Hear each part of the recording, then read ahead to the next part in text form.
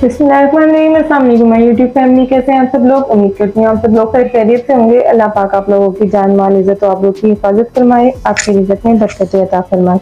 अच्छा आज मैं आपके लिए बहुत ही मज़ेदार लच्छा पराठा की रेसिपी लेके आई हूँ, जो हम बिल्कुल रेस्टोरेंट स्टाइल के बनाएँगे। मतलब जो ढाबों पे मिलते हैं ना, बिल्कुल उस स्टाइल के बनाएँगे।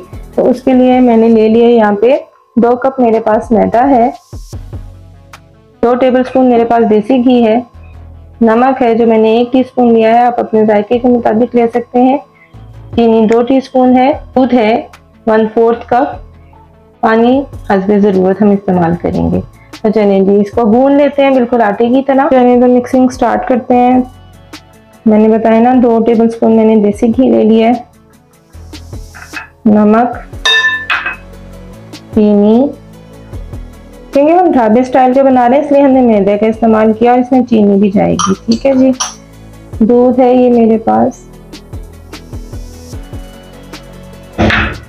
और आ, पानी हम ज़रूरत के मुताबिक इस्तेमाल करेंगे पहले चेक कर लेते हैं।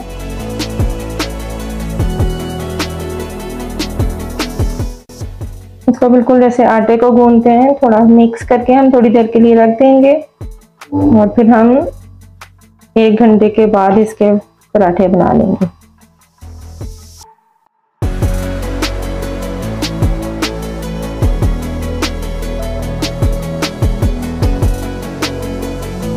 अच्छा आटा गूंद के हमने रख लिया था। एक घंटे के लिए एक घंटा गुजर गया। अब हम इसके पेड़े बना लेते हैं।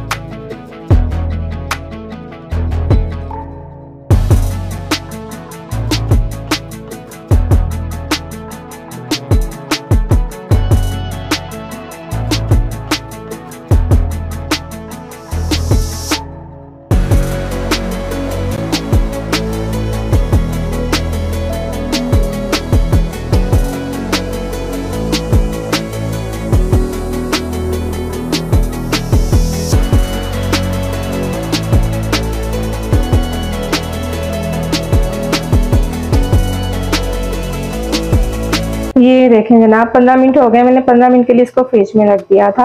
अगर गर्मी नहीं है तो आप इसको शेल्फ पे छोड़ सकते हैं, ठीक है? अब हम इसको बना लेते हैं। अच्छा अब इनको बहुत प्रेस नहीं करना, वरना जो आपके बल है ना, ये सारे ख़त्म हो जाएँगे, उस तरह का रिज़ल्ट नहीं आएगा जैसा हम चाहते हैं। अच्छा इसको ना बहुत बड़ा नहीं बनाना, वरना फिर उस तरह का रिज़ल्ट नहीं आएगा आपका, ठीक है? थोड़ा मोटा और छोटा ही बनेगा और अगर आप थोड़ा बड़ा बनाना चाहते हैं तो फिर पेड़ा बड़ा ले लें। ये देखें, इसी तरह सारे हम बना लेंगे।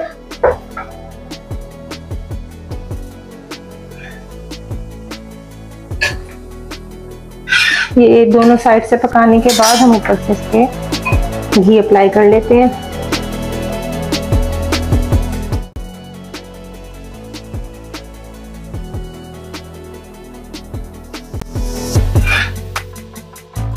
देखें कितना खूबसूरत बन के तैयार हुआ है।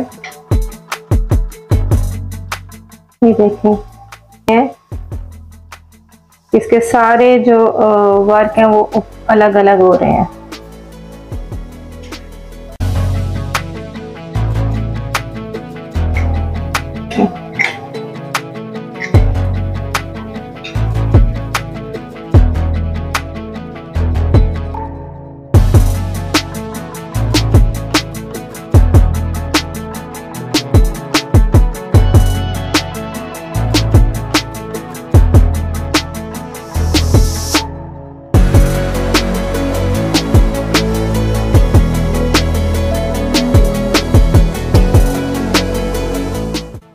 हमारे क्रिस्पी से मज़ेदार से ढाबा स्टाइल के पराठे बन के तैयार हैं। कितने अच्छे बने हैं। ये देखें।